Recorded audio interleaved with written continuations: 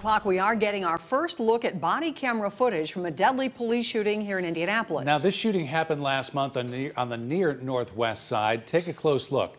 The first body camera video shows an officer finding a vehicle outside of a home on Eugene Street on September 24th. Earlier that day, a driver in that vehicle committed a traffic violation.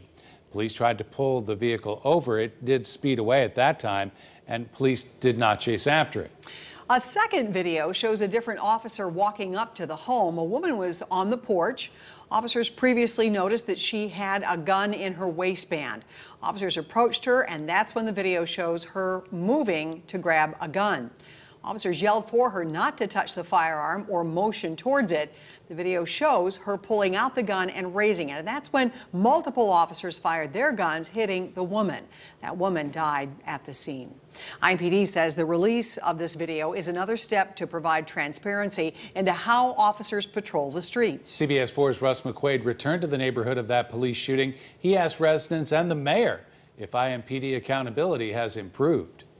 Yesterday afternoon, Mayor Hogsett and IMPD Chief Randal Taylor led a neighborhood walk through this community. Right past that house you see behind me, where a month ago four IMPD officers fatally wounded a woman.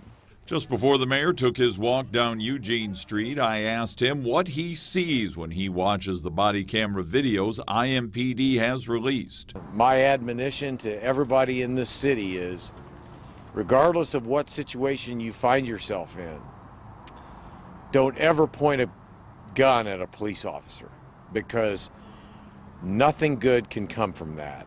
Body camera videos and civilian majority review boards were part of new efforts intended to enhance IMPD transparency and gain public trust. I think for the most part, body cams are serving the purpose that they were intended to serve.